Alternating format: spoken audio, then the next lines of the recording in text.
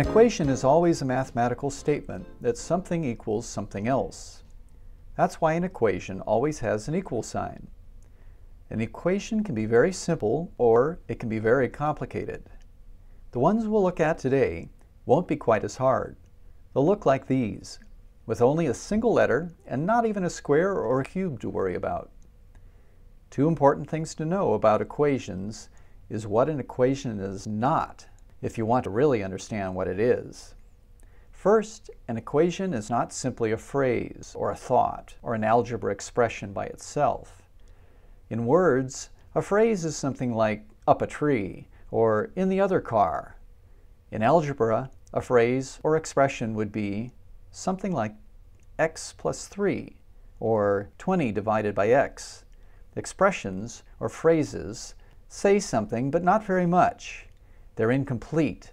And since they don't make a complete statement, they can't be true or false. An equation is not like a phrase or expression. Rather, it's like a complete sentence when you read it in words.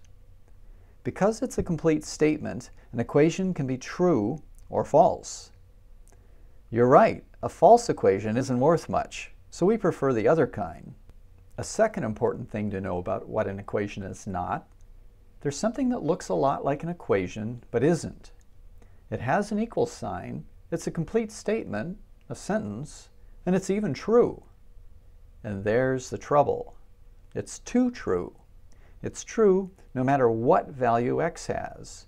If x is 1, it's true. If x is 2, it's true. If x is 3, it's still true. That doesn't tell us a thing about x. We call this kind of statement, which is always true, an identity.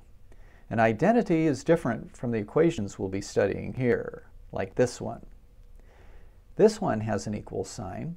It's a statement, a sentence, and it can be a true statement, but it's not true for every value of x.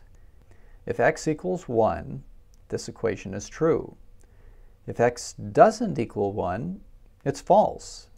So x has a value, one correct value x means something here. We can use this equation to learn something about x. To be sure you've got it, let's say that another way. You can't solve an identity because there's nothing to solve. Your answer can't be wrong. You can solve an equation because it has a right answer. In fact, equations are for solving. An equation is really a question looking for an answer. And the question is, what is the true value of x, or y, or q, or whatever letters you happen to use? We want to learn how to answer that question. Why? Because every equation started off as a real problem in the real world that needed an answer. When those problems were translated from words into algebra, what did they become? Equations. Our task is to learn to solve equations. How will we go about it? Backwards. First, we'll pretend we already have an answer, and then we check it.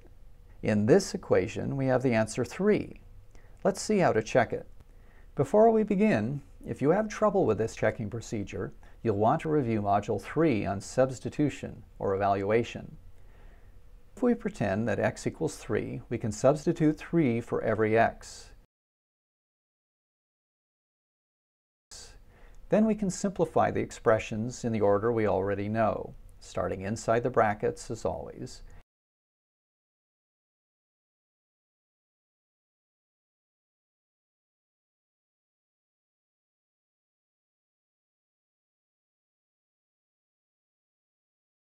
And what does that give us?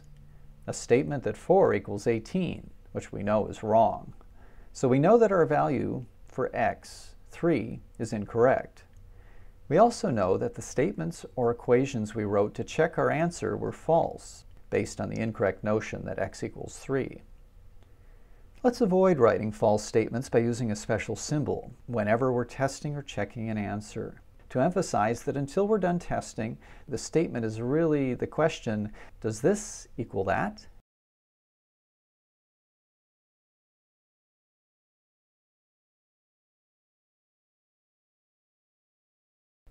Testing is a very simple process, and it works with harder equations like this example. Even though we don't know how to solve equations like this yet, we can test whether a particular answer is right or wrong by substituting. In this case, we replace x with a 2. Follow our recipe for simplifying expressions, and we end up with a true statement.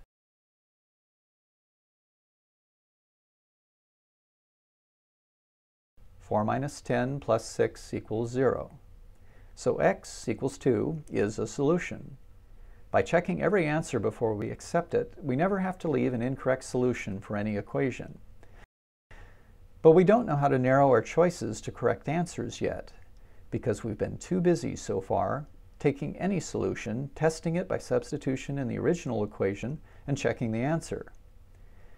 We can find a way to identify correct solutions by looking at an additional part of the process. If we can turn our original equation into a simpler equation, we can see the solution. How do we do that? What can we do to an equation to make it simpler?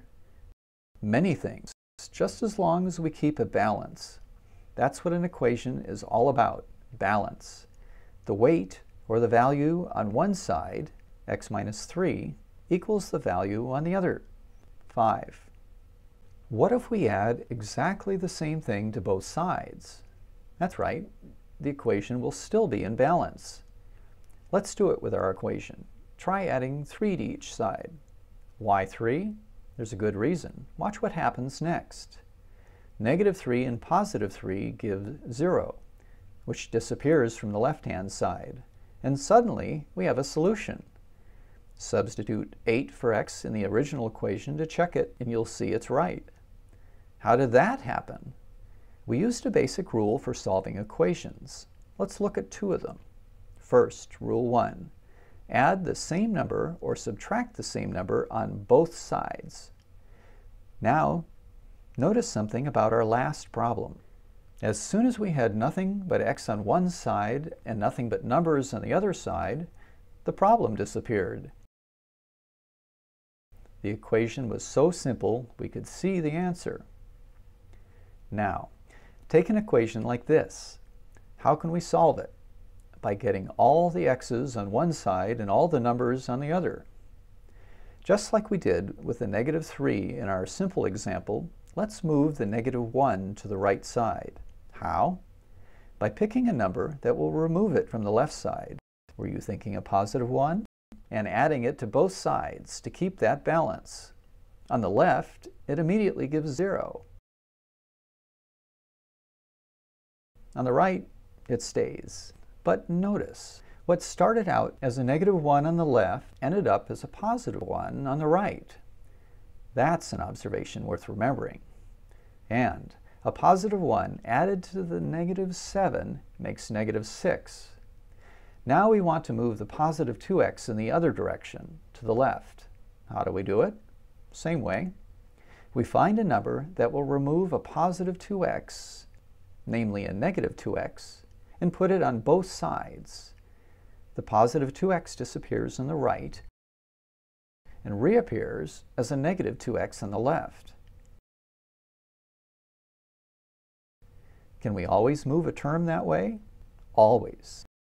And the moment we have all the x's on one side and all the numbers on the other, we can see the solution, and the problem disappears.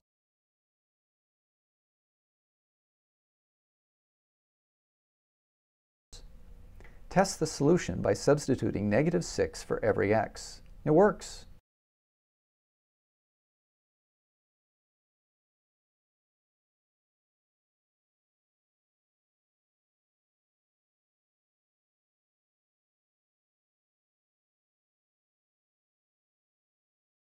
If you don't quite get moving terms, you may want to review Module 2 on like terms.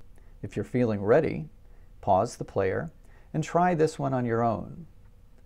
Remember, get all the x's on one side and all the numbers on the other. When you have your answer, start the player again and we'll compare answers.